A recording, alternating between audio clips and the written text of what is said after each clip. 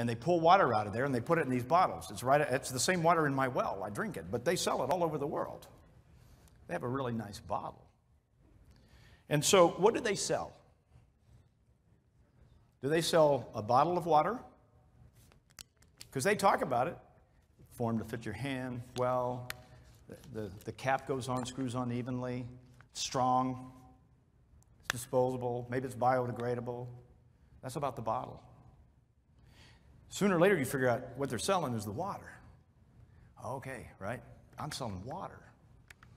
Because water is, is it's not the packaging of the product, it's the product. So again, let's think about our websites. Are we, are we talking about the bottle? Or are we talking about the water? But there's really one more step. Why is water important? Because water brings life. Without it, we don't exist. Water brings refreshing.